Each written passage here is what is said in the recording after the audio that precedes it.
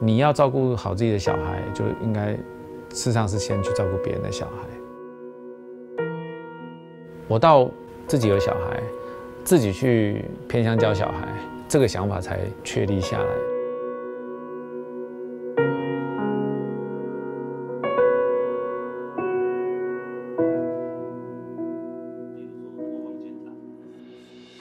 其实一刚开始，我只想在台南市里面就是开个班嘛，哈，教教小孩子试试看。跟我一起发展教材的我的学生，就是有一天就就蹦了一句话出来，他说：“我觉得协会写程式很容易可以赚到钱，那我们是不是应该去教比较弱势的小孩？”我想，哎，对呀。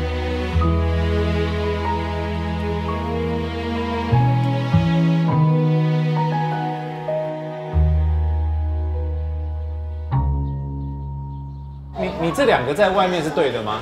还是这两个是要在里面啊？我我觉得刚开始的方式，我的方式可能不太对。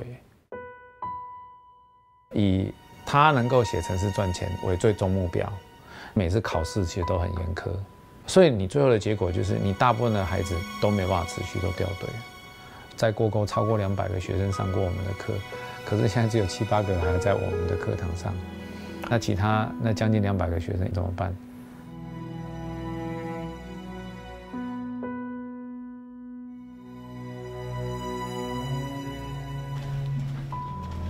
校长好，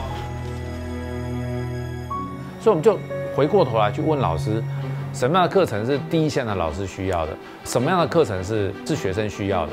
课程是他们设计的，但是需要的科技部分就由我们来帮忙。是职业，这个是中间哎，唔对啦，唔对啦，你看这有胖啦，喷落都袂使有胖啦。哎，看一下你。老屋这个课程其实是文德国小的李炳轩老师跟我提的哈。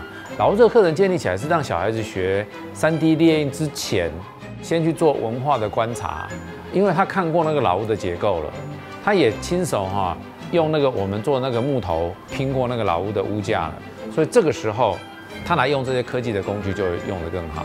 科技呢，不过就是这个文化的底蕴上面，我们帮他加上一些色彩。那个文化的底蕴其实是比较重要的。你要先前进一个，要回到原点吗？那我们 create 另外一个课程啊，让他去玩。那讲这类的课程越来越多元，那就可以吸纳越来越多的孩子，他会找到一个他要的。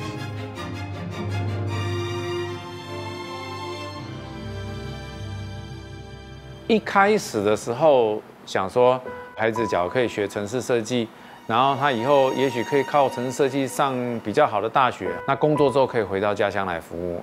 可是我发现他们都不喜欢他们的家乡，他们都想跑掉，跟台湾人很多人都觉得台湾是鬼岛，然后要跑掉是一样的嘛？啊，都走了，那我们怎么办呢？所以那时候就想说，那我们想个办法，让他们可以多了解他的家乡。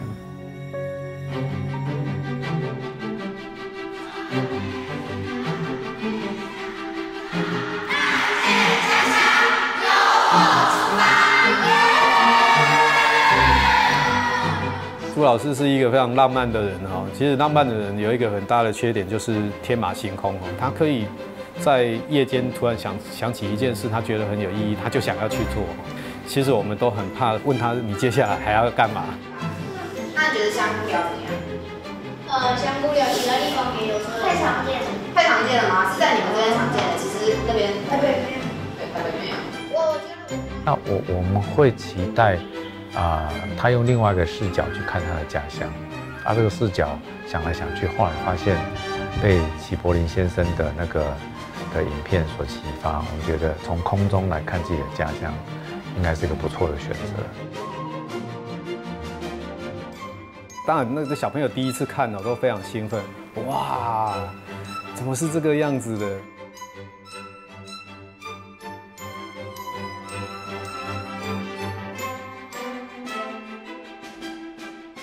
为什么叫看见家乡？就是希望你看见家乡，你知道家乡哪里好，哪里不好，你希望他能够回来。那其实效果是很好的，就是当他们到空中去看自己的家乡的时候，那个视角是不一样的。比较好看啦，就是几乎所有的东西都会变成小蚂蚁。很多房子很，就是很像一幅画。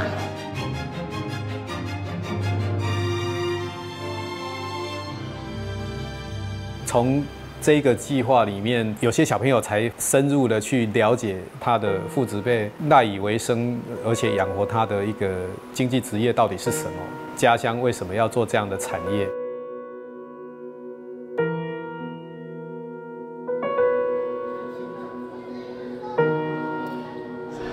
就是感觉跟你平常在这样拍的时候不一样，就是感觉鸟看大地，感觉很壮观。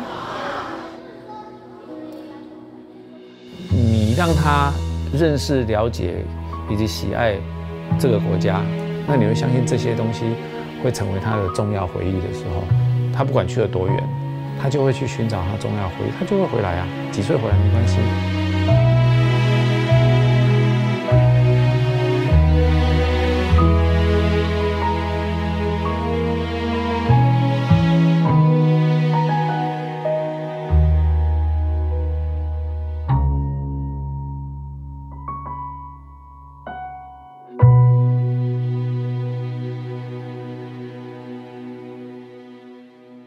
Give me five.